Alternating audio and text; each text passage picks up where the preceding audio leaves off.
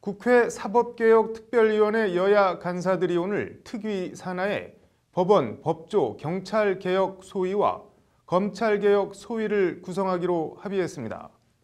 공수처 설치와 검경 수사권 조정 등 뜨거운 감자를 다루게 될 검찰개혁 소위는 공정성 확보를 위해 검찰, 경찰 출신은 위원으로 두지 않기로 했습니다.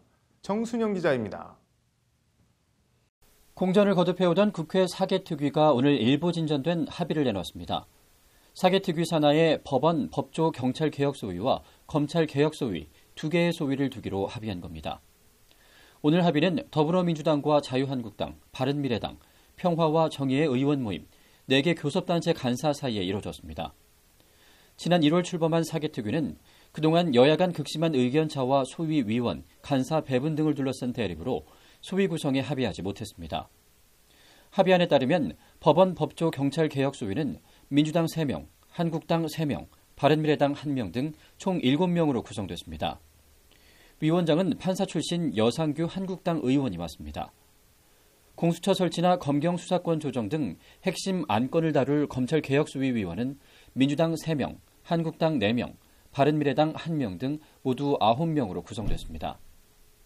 검찰개혁수위 위원장은 검경 출신이 아닌 오신환 바른미래당 의원이 맡습니다.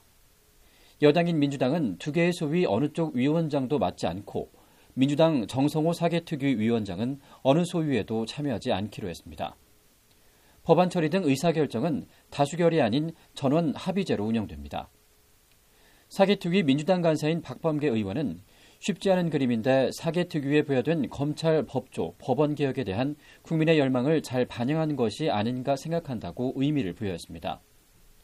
사개특위 한국당 간사인 장재원 의원은 사개특위가 국민적 관심이 큰 위원회고 권력의 틀을 바꾸는 중요한 위원회로 성과를 내야 한다는 데 동의했다고 모임 분위기를 전했습니다.